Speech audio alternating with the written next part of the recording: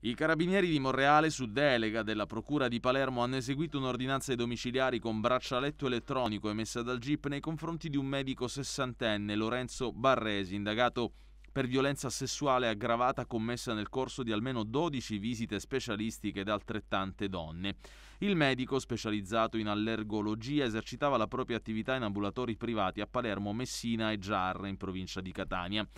Le indagini eseguite fra maggio e luglio 2021 sono iniziate dopo la denuncia presentata da una donna, secondo cui il medico, approfittando della visita allergologica e con la scusa di ulteriori necessità diagnostiche rispetto alla consulenza medica richiesta, l'avrebbe molestata. Un'altra paziente ha confermato di essere stata anche lei vittima degli stessi comportamenti. Gli accertamenti dei carabinieri hanno messo in luce altri episodi simili su pazienti giovani, tutte fra i 20 e i 45 anni il medico avrebbe sostenuto di doverle sottoporre a controlli di natura ginecologica e senologica, ambiti medici sui quali il professionista affermava di avere competenze specialistiche in realtà mai conseguite.